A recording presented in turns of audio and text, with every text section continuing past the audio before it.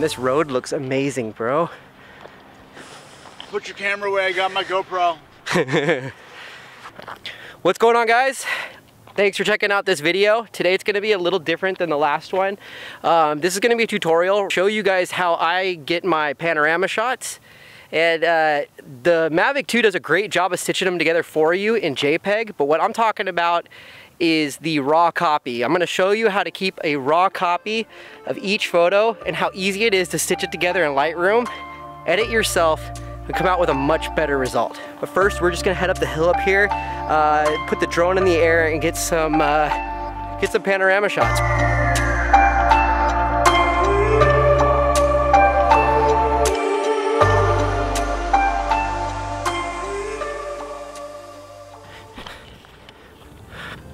Right, so we're almost to the top.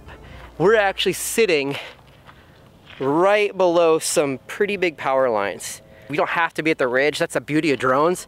Could just fly up there, you know? So I would do it right here, but uh, just the power lines, I'm a little iffy about the power lines. Otherwise, I'd probably just launch here. Don't have to go far though. So we're gonna we're gonna put the drone up right over here. Probably take off. Try to find a spot where it won't get so dirty. All right, so I've been fortunate enough to find one spot. It's all sand and grass that is literally gonna get just sucked right up in the Mavic. So I was fortunate enough that I found this right here. So have a little bit of asphalt, so this is a great place to take off from.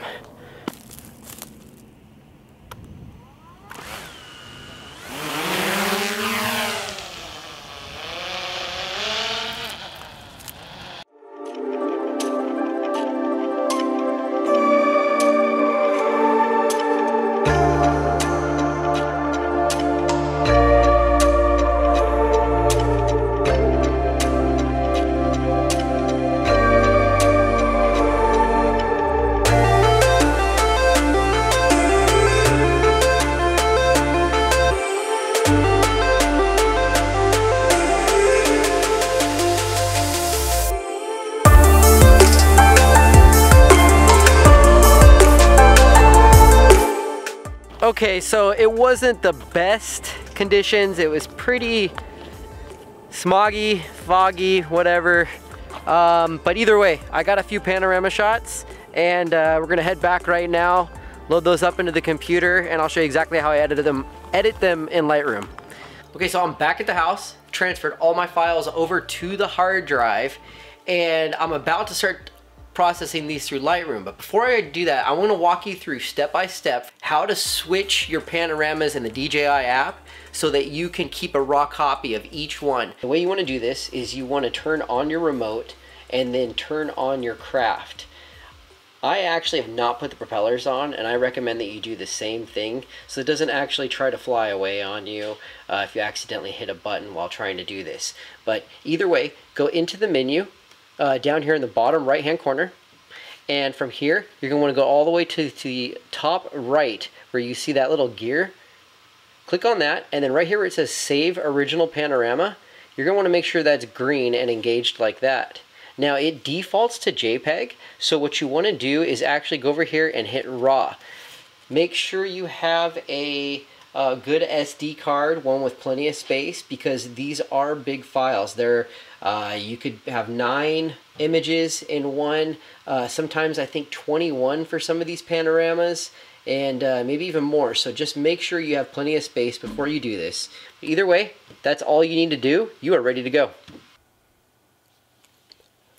Okay, so the first thing you want to do is bring up your SD card. Go to the DCIM folder see here, I have quite a few raw files, these DNG files, but occasionally you'll see a JPEG. And I don't usually save my files as JPEGs, so you may not even notice that when you're um, copying your files for the day, um, but these will be your panoramas that DJI stitched together for you.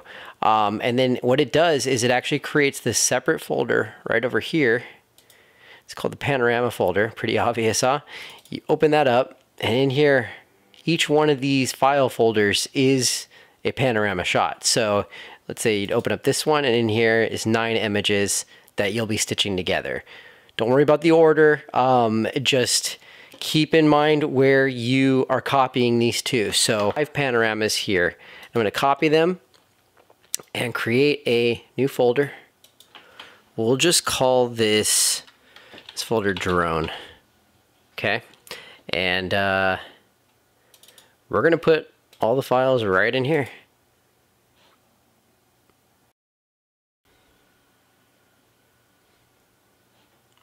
Okay, now that that's complete, I'm just gonna go ahead and shut this. I'm gonna actually eject the uh, memory card now and uh, open up Lightroom. So what we're gonna do is go to import photos and video. Go to the, uh, oh, I'm sorry, whoops. We're gonna go to desktop and then drone was the folder. So we go drone, click there and import all. Once all your pictures have loaded into Lightroom, you're gonna bring up your um, panoramas for reference. So here's the first file folder. I'm gonna open that up.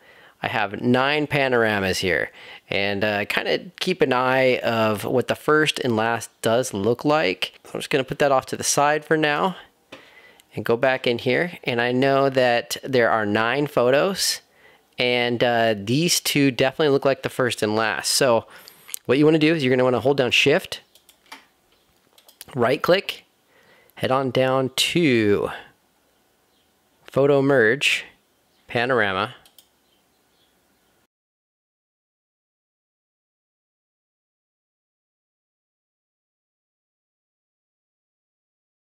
and uh, not what you were probably expecting. So uh, you have a lot of uh, uneven lines here that definitely don't look good and are going to look weird if you just export it like this. So there's two ways you can do this.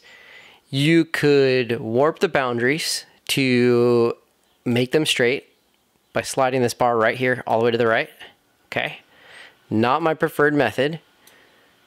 You could click on auto crop here and it's going to crop it down for you. And that's actually a good option. I do like that option. But the one I use the most is fill edges. So it's going to do a content aware fill and fill in the edges for you. Let's give it some time to do that. And there it is. So um, for this, I'm going to go with fill edge and uh, go to the next one. Okay, so while that file is merging, I'm gonna go ahead and select my next batch and basically repeat the process. Okay, so I got my nine photos selected. And the first one is complete. We're go back to panorama.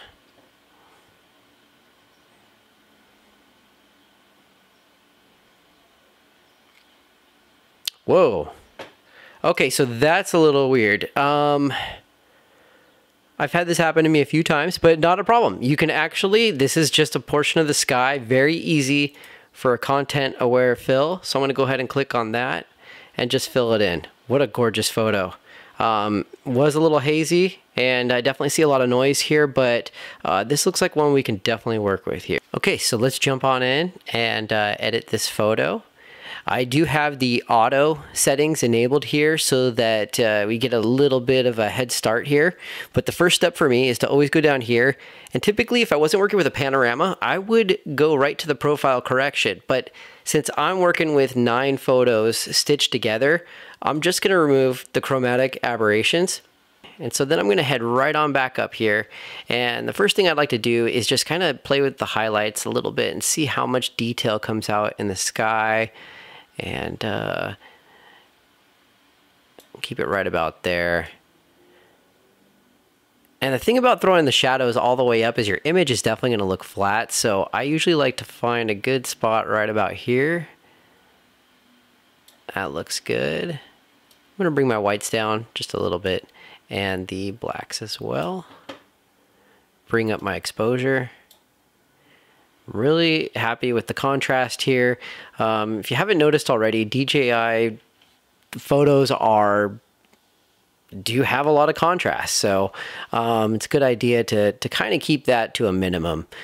Next, I'm going to go down to the texture clarity and dehaze sliders to add some sharpness.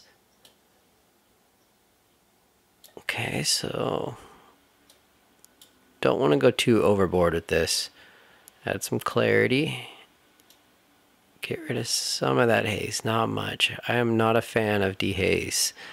Okay, so happy with the vibrance. I'm gonna reduce the saturation just a little bit there. Okay, I like that. Um, I'm not going to mess with the tone curve right now. This is just a simple edit to kind of show you my, my basic process here. Um, really uh, kind of happy with the, uh, the hues here, so I'm not going to mess with those. But I do want to take a look at the saturation. There are a lot of yellows. We're going to go ahead and bring those down just a little bit.